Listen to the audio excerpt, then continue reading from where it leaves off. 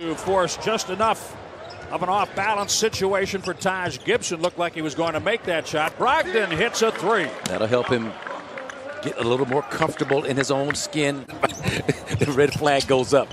Oh my God. I said, no, we hadn't talked about it. He just says negative. Brogdon off the glass. Take it, Malcolm. Yes! Oh my! Oh my! You look, no one's at the rim. All of a sudden, he's there at the same time as the ball.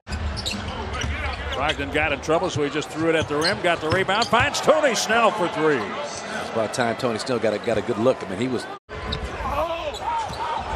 Parker has it off the miss. Pass ahead for Brogdon. Butler is there. Brogdon able to score on a reverse. And look who's following the play. Finished. We've talked about his ability to play through players. Brogdon sort of played through Brook Lopez. I, am sorry, Robin Lopez. Has the rebound, and here comes Jabari Parker. Monroe in front. Brogdon running. Flush. Timeout Chicago. 9.39 remaining in the fourth quarter. Monroe ends up with the ball. Giannis has it. Got something good if you attack. Brogdon running a straight line to the basket. Got something good. You had the Bulls kind of in a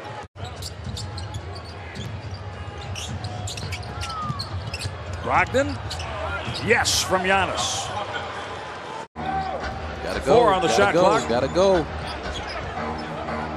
It's away in time, and Wow. it's good. Jabari Parker. The Bucks trying to close this one out, leading 101 to 90 with 3:35 left. Giannis from Brogdon, Look at that youngster play basketball. Get a triple double. and it validates the improvement from one night to the next. Monroe. There it is. Yes. There it is. Look at the bench. Big smile.